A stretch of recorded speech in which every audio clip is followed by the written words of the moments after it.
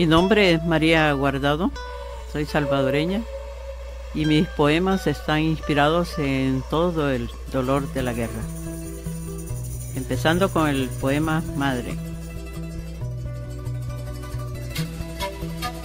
Hijo mío, ¿dónde estás que no te encuentro? Te he buscado por barrancas, por veredas, por ríos y por mares, y por los diferentes lugares que me dicen, allá hay muertos. Me he sitiado por días en las playas, mirando fijamente hacia los mares, como esperando que surja un gran milagro, que los tumbos me traigan tu cadáver. Regreso traumada, taciturna, buscándote en las cabezas que cuelgan y que ruedan con lujo de barbarie por los enemigos del pueblo, pero hoy como ayer, hijo mío, son los hijos de otras madres. Te busco en el campo y las ciudades, levantando las piernas y los brazos de los cuerpos desgarrados por los perros, como queriendo encontrar tus verdaderas señales, aquellos dos bellos lunares, pero hoy como ayer, hijo mío, son los hijos de otras madres. Terminé con la última alternativa, hijo de mi alma, buscándote en toditito los penales, donde salí con mi corazón fortalecido por el coraje, porque mi único delito es el de ser madre, y sin piedad me golpearon los guardias animales. Hoy ya dije, no te busco, aunque tenga mi corazón hecho pedazos, le pediré a Dios tranquilidad para recibir como hijo verdadero esa cosa por lo que tú andas luchando y de lo que tanto me hablabas que era bella, que se llama libertad, libertad, libertad.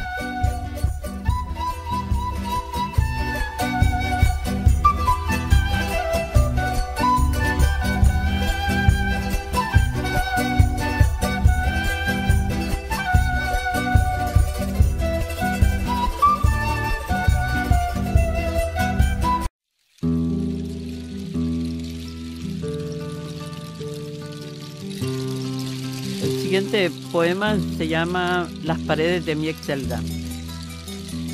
Si las paredes de mi excelda hablaran, fueran hoy fieles testigos de mi pública demanda contra los escuadrones de la muerte de mi colonia sangrada y el mercenario que en nombre de la gran democracia a media lengua daba las órdenes de mis torturas amargas, amargas.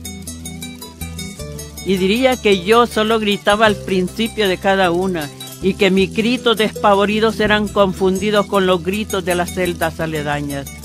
Si esas paredes hablaran, dirían que en mi agonía pedía agua y alguien con risa satánica contestaba aquí está y eran golpes de pistola en mi cara, quebrando y aflojando mi dentadura, la cual lloro y extraño, imponiéndome placas. ¿Te parece poco, mi hermano, mi hermana?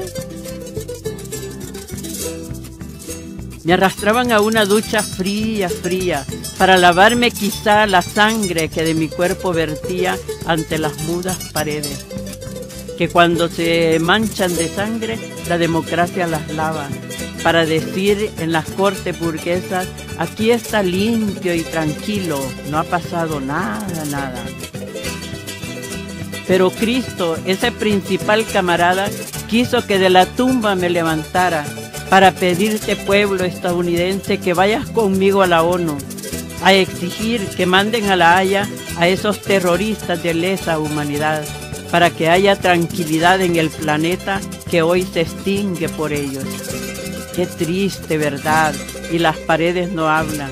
Pero mi cuerpo y mi mente tiene pruebas fehacientes como ejemplo de ese holocausto del traspatio. Por tanto, ese enemigo común, tu solidaridad y yo vamos a enjuiciarlo, aunque no hablen las paredes de mi excelda.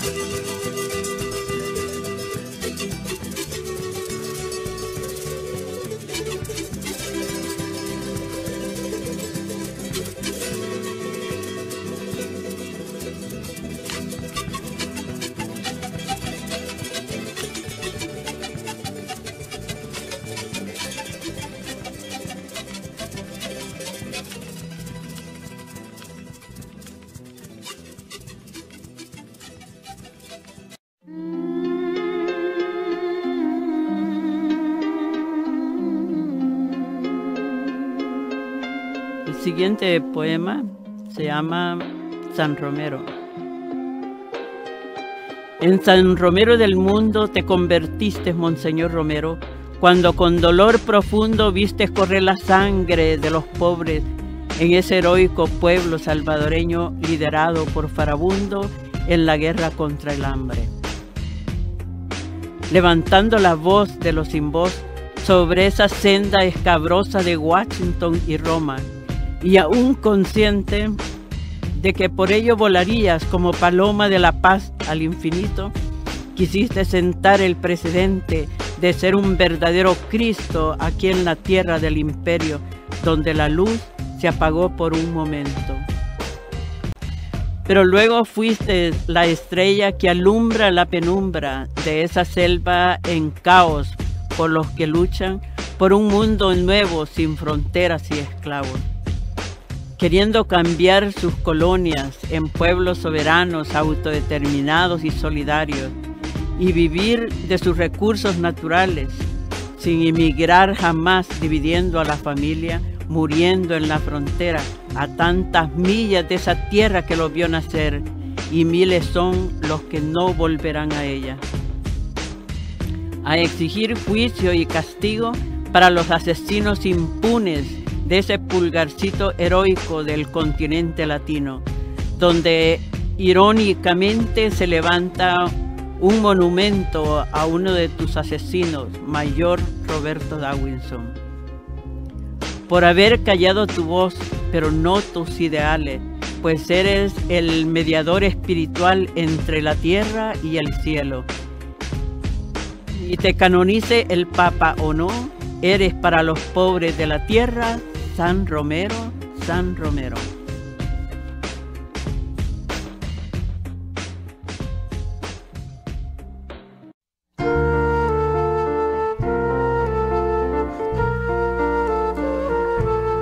El siguiente poema se llama Esposos Manzanares.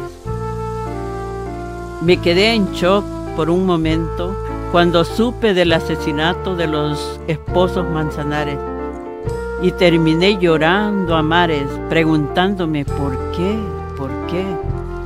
Si no tenían otro delito que ser padres de cuatro hijos, dos de ellos especiales o dotados de inmenso amor por la causa justa de los pueblos.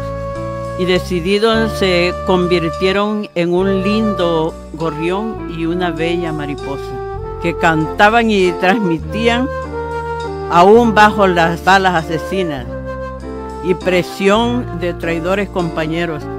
Eran siempre fieles mensajeros para librar a la colonia del imperio. Y no emigrar nuestra gente separando a la familia y muriendo en la frontera, tristemente lejos de su tierra. Por tanto, un triste día mataron al gorrioncito Paquito Manzanares, Cutumay. Y como si fuera poco, a los años volvieron por sus padres, matrimonio Manzanares. Sobreviviendo la mariposa que hoy junto a la solidaridad dice no a la impunidad de los escuadrones de la muerte retornados al gobierno terrorista de Arena, administración de Saca, que como ayer sigue la pista a activistas salvadoreños y solo la unidad por la justicia lo vencerá. Levantando esta bandera de lucha para que las futuras generaciones vivan con justicia y paz. Oh esposos manzanares, cómo los extraño.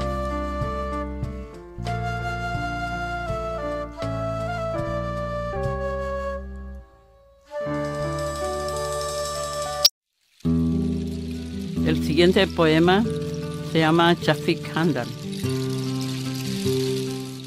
Chafik Handal fue alumno de grandes maestros comunistas, porque quiso ser defensor de la clase trabajadora para que un día viera la aurora en la oscuridad del sistema. Por eso trabajó noche y día desde La Habana y toda América Latina y alegremente se fue, sonando las campanas por el avance bolivariano, convirtiéndose ahora en escuela de la juventud, que por estar sin luz es víctima de la mano dura. Escuela donde nacerán más líderes que liberen la colonia y que transformen los esclavos en puros seres humanos, acabando con los muros y fronteras terroristas en este dos mil y tantos. Mientras él es recibido por camaradas santos, por héroes y mártires que están esperando el cambio para venir con nosotros juntos a celebrarlo. Shafi Handal fue fiel como sus maestros, luchando contra el imperio, ese patrón rudo, esclavista, creador de fronteras y muros. Shafi Handal jamás traicionó la causa, como algunos compañeros suyos lo hicieron. Por eso Shafiq es hoy escuela de un gran futuro.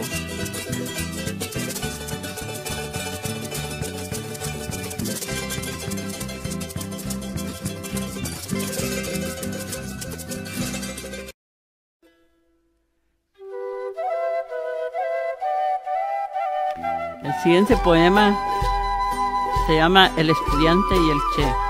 Hola Che, le dice el estudiante. He venido a felicitarte porque luces muy bien, con tu barba y cabello largo, y por tanto portaré tu imagen. Y sonriendo el Che le contesta, ¿por qué mejor mis ideas marxistas? que unidas a la práctica y a esta mujer llamada Tania, me han llevado a, a trabajar a la montaña. Y por esas noches sin mañana, me ha crecido el cabello y la barba, sin tiempo para afeitarme, con la fe y la esperanza de que un día cambiará el sistema y se, se reventarán las cadenas de la opresión. Pero para hacer la revolución, el trabajo tiene que ser integrado. El ego y el machismo se dejan en el pasado como lo ha hecho Tania y yo. Y el estudiante apenado le dice, gracias por el ejemplo y semejante lección, porque hoy sé que esto no es romanticismo, es estar definido e integrado y trabajar con vuestro legado hasta la victoria final. Y felizmente se dieron la mano, diciendo en coro, ganamos, ganamos, el estudiante y el Che.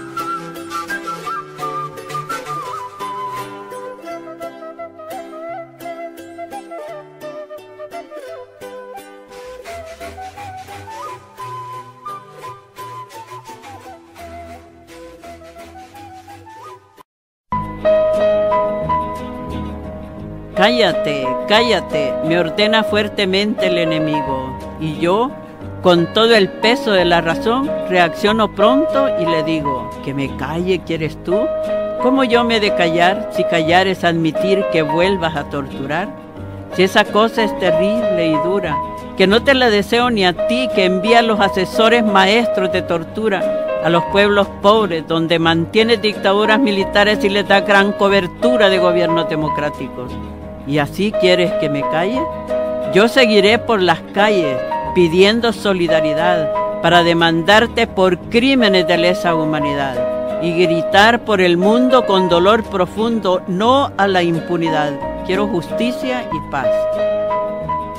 Pertenezco al 1% de los sobrevivientes de tortura de mi pueblo salvadoreño, que hasta este año 88 van más de 70 mil muertos y más del millón de migrados.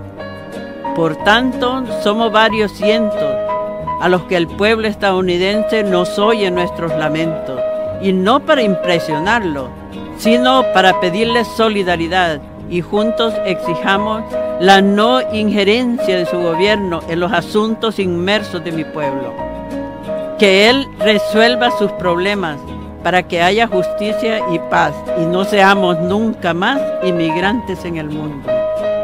Sufriendo ese dolor profundo del racismo y la discriminación en estos Estados Unidos de mi propio continente, saqueado, invadido, ocupado, explotado, oprimido, embargado y emigrado, sufriendo la separación familiar. Y aunque el enemigo me ordene que me calle, yo seguiré como loca exigiendo por las calles la demanda por tus crímenes de lesa humanidad de esa colonia que por la paz, con justicia social, se quiso liberar. Aunque me grites, cállate, cállate, cállate.